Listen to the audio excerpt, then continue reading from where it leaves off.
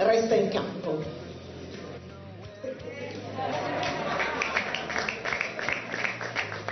Ho promesso che non faccio battute di spirito pubbliche, me ne sono venuti 5 o 6 prima, non lo faccio. Come vedete sono qui, eh, sono qui per senso di responsabilità nei confronti dei miei figli, dei miei nipoti, degli italiani e anche nei confronti del mio paese.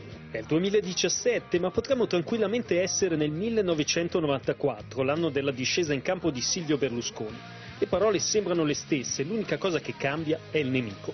Il Movimento 5 Stelle che nel suo programma cela delle situazioni molto pericolose per tutti i cittadini. Ma non mancano neppure le stoccate verso la sinistra per la vicenda che riguarda il governatore della Banca d'Italia Ignazio Visco. È proprio della sinistra di voler occupare tutti i posti di potere subito dopo le elezioni. Adesso hanno fatto un passo avanti e vogliono occuparli anche prima delle elezioni. Eh, Silvio Berlusconi è eterno, vedremo se questa eternità varrà anche questa volta. Sì, in Italia era una cosa normale questo.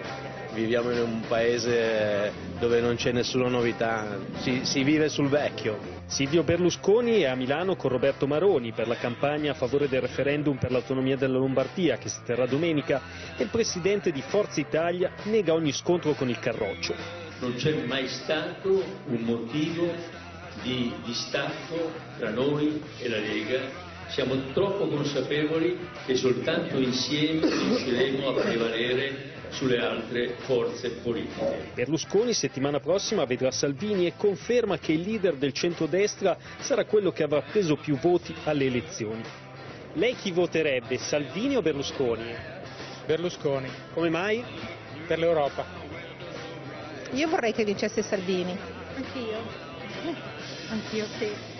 Io non mi sorprendo perché sono i partiti opposti che hanno creato le condizioni perché Berlusconi risuscitasse. Quello è un seguace di